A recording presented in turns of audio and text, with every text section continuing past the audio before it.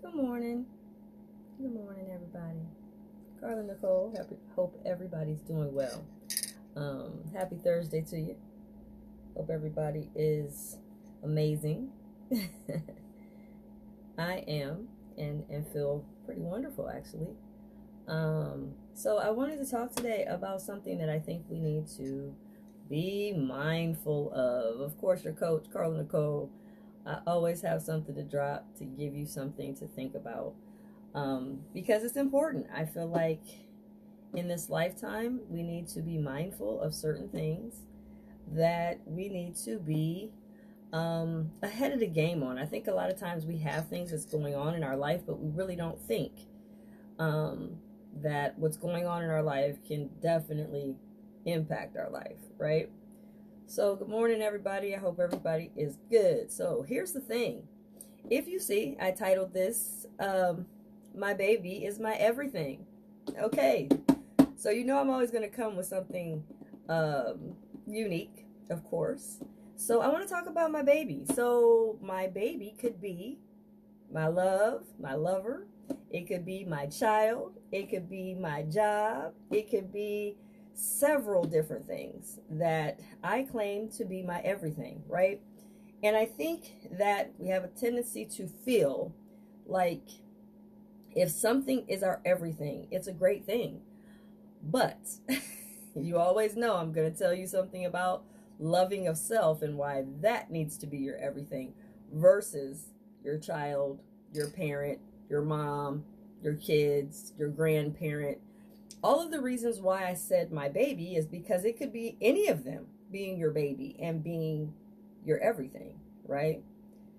Um, what is such the challenge is in life we have different people, um, different connections, different um, love affairs that we have through our life, and sometimes um, they really become more primary to even ourself.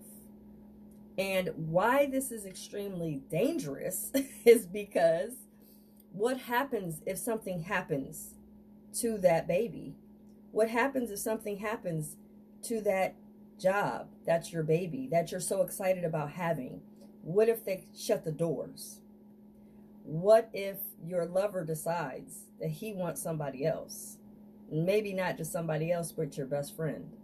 Now, not only did you lose him, you lost him and your your buddy. What if this is why I said your baby because it could be a lot of different things. What if it's your child? You didn't lose them to an auto accident, but maybe you lost them to going to college and going out of the state and moving on with their life into a different area. Now your baby, that's your everything, is now gone. Now, what do you have? What do you have? A lot of times it's, it leaves us with grief, depression, sadness, loss of eh, eh, motivation for life. And when this happens, a lot of times people get to that point to their to where they don't know where how they even ended up here. How did I get to the point of I had everything and now my everything is gone. Now I don't know what to do. I don't know where to go. I don't know where to turn. So I wanted to talk about this today because a lot of times, you know, uh, having something be your baby, be it even a material thing or even abundance financially, your baby could be a lot of different things that we don't really think about until we lose it then it's like, oh my God, I'm in complete and total despair. I don't know what I'm going to do now. So I want you to think about something. And, and you know, I'm not going to be on here long, so I'm going to keep this fairly short. I want you to think about something that's very important and vital. In this lifetime, you have to prioritize you. You have to deep dive into yourself. It is beautiful to have children. It is beautiful to have a love affair it is beautiful to have a great career and occupation and and a beautiful home and all those things in people. Those are beautiful things to have. However, if you lose yourself, it's hard to find you again when you lose that person, those things, that opportunity, you don't know what to do. You know, being a coach, I've had many different peaks and valleys in life. I lost my mom in 03. I mean, I my daughter left for college. I mean, everything that you could possibly think of. I lost my grandfather at like 11. And so when you go through these different peaks and valleys in life, you have to sit down and say, yes, this per- these people are important. Yes, they mean a lot to me. Yes, I'm thankful for them. But once I understand that I need to make sure I'm good, make sure my mental health is okay, make sure that I am focusing on what I need, it puts everything in a better perspective. When we have our babies, I'm telling you right now, when you have your children, it is a it is so uh, fulfilling that you cannot describe how thankful and appreciative you are to becoming a parent. That is a beautiful thing, without a shadow of a doubt. But our children, our babies, are on borrowed time. And sometimes our love affairs are on borrowed time. They're not going to be here forever. Um, and one of the hardest you know, coaching sessions that I have are the ones that, you know, someone lost somebody or someone passed on and that person is is lost. Like they don't know what to do now that that person is not in their life. And that's why i always say prepare ahead of time. Make sure you're focusing on what you need. Focus on what you want and what you desire for yourself. Because one thing is for certain you will never, ever, I mean, truly understand the power of loving you until you lose something that was your everything. That changes and shifts you into a whole nother awareness. Oh my goodness. All this time, I was putting myself on the back burner, right? I wasn't doing what I wanted to do for me. I put stuff aside because I wanted to make sure my other my child or my everything was okay. And it's okay, I get it.